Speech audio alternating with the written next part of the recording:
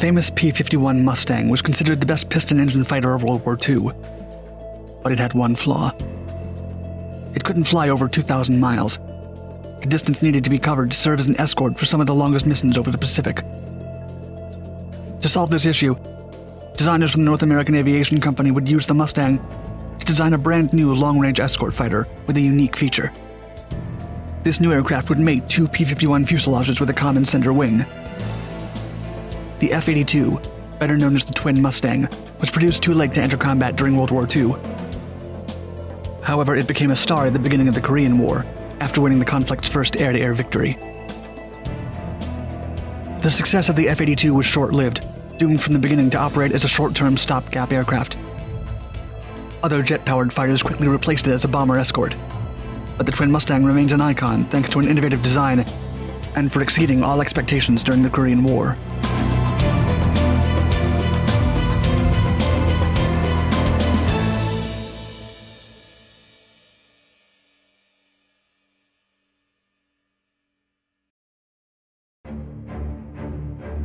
The P 51 is considered an icon of World War II aviation.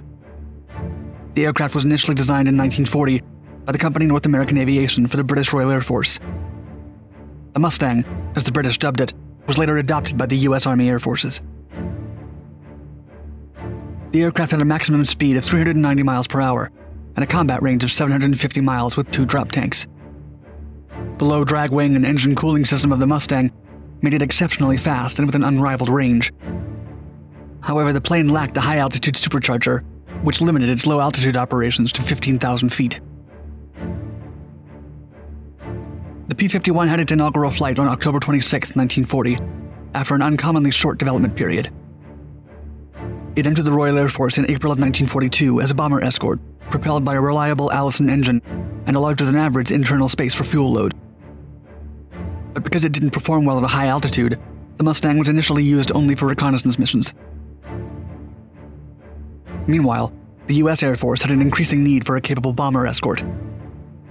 With the help of external fuel tanks, the Mustang could fly for almost five hours from England to Germany and back. At first, the P 51s only served as close escorts to Allied bombers on their way back home. They soon demonstrated their superiority in a more expanded role. The Mustangs were eventually sent ahead of the bomber groups to intercept the Luftwaffe in a preemptive fighter sweep. To keep the P 51s away, the Germans countered by sending their FW 190 bomber destroyers, which were easily outperformed by the Mustangs, with two additional Messerschmitt Bf 109 escorts. The Bf 109 proved a better match against the Mustang, but the German strategy was generally unsuccessful, as it was complicated to assemble. By late 1944, the Mustang flew in all but one of the US fighter groups. Upgraded with new gyro gun sights, the aircraft proved extremely effective against all German opponents. With round the clock bombardments and a significant decrease in US bombers lost, the P 51 penetrated deeper into the German airspace than any other fighter.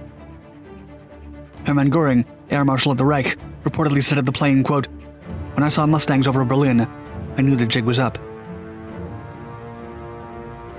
Later in 1945, the Mustang served the Chinese Nationalist Air Force on its missions against Japan.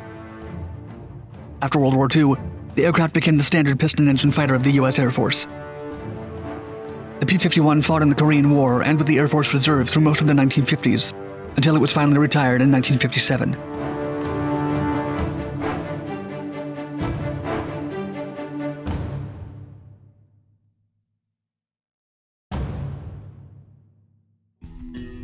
Despite its success, the P 51's maximum extended range of 1,615 miles with additional auxiliary fuel tanks wasn't enough for escorting the Boeing B 29 Superfortress in missions of over 2,000 miles.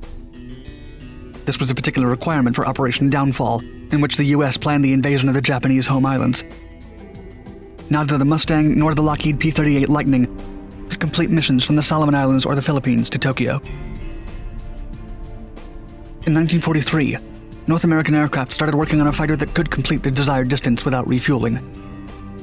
Design Chief Edgar Schmued decided to incorporate two P 51 fuselages with a common center wing and an additional fuselage plug behind the cockpit.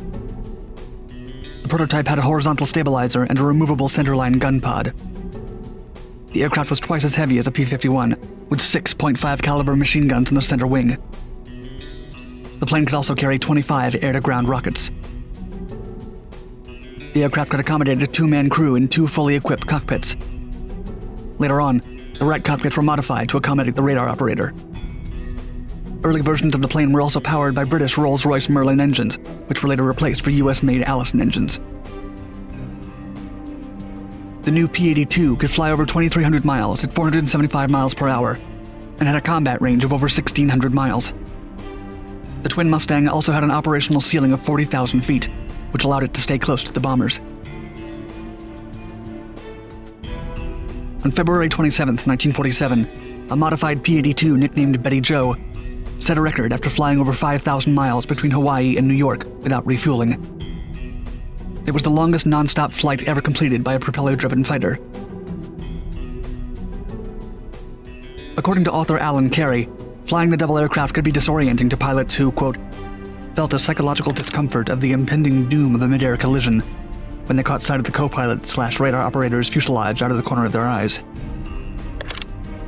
North American Aviation still produced 250 twin Mustangs for the U.S. Air Force.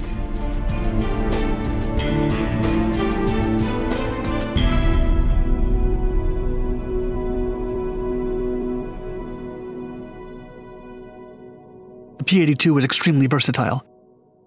It could serve as a fighter, an interceptor, an attack bomber, an escort, and a reconnaissance aircraft. But its original mission was eliminated after the atomic bombing of Japan and the end of World War II. It had been designed too late to enter combat. In 1947, however, P 82 was given a second chance thanks to the Soviet Aviation Day Parade. US military planners were surprised by the Tupolev Tu 4, a piston engined Soviet bomber that had been reverse engineered from the B 29 Superfortress. As the tensions rose because of the Berlin airlift, one of the Cold War's major crises, the Tupolev represented the threat of a Soviet nuclear attack from the air. The US Air Force needed fighter jets that could withstand long range missions through any weather. But at the time, all weather fighter jets were delayed in the development process. For example, the P 89 Scorpion had several issues and wouldn't enter the production phase until 1952 the XF 87 Blackhawk project was delayed and eventually abandoned in 1948. The twin Mustang had to fill in the gap as the only fighter that could intercept the Tupolev. On June 11, 1948, the Air Force changed the category of the plane. Instead of keeping it as a P 82 for pursuit, it turned to F 82 for fighter. The aircraft entered service with the 325th Fighter Group of the Air Defense Command, the squadrons awaited at the McChord Field Air Base in Washington, in case the US needed to send them in a mission to escort long range bomber strikes against the Soviet Union.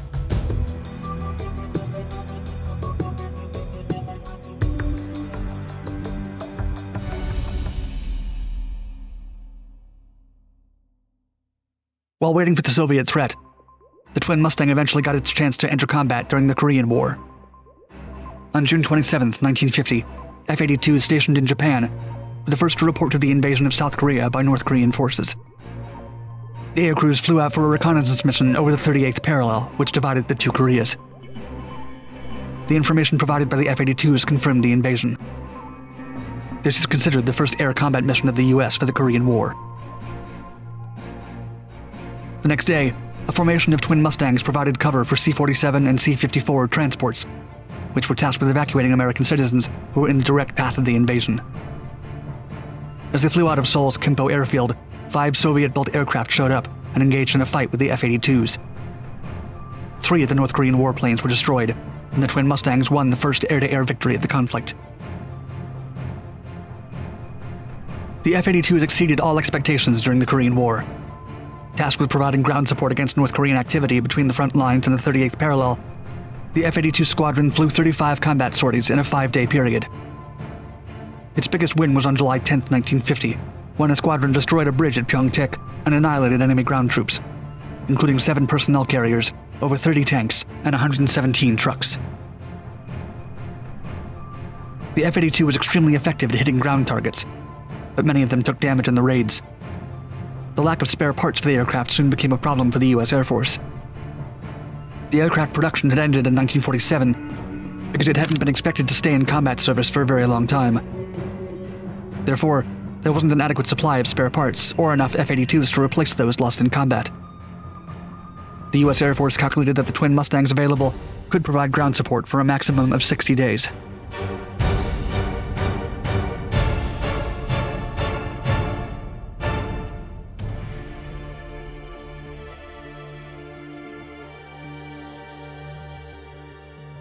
By October of 1950, new aircraft such as the F 51, F 80, and F 84 took over combat ground missions, and the introduction of the MiG 15 also pressed air to air combat into the jet age. Through late 1950 and 1951, the twin Mustangs were relegated to weather and reconnaissance missions. By then, the Chinese Communist forces had gotten involved in the war. The intervention of the twin Mustang was still fundamental in monitoring enemy activity.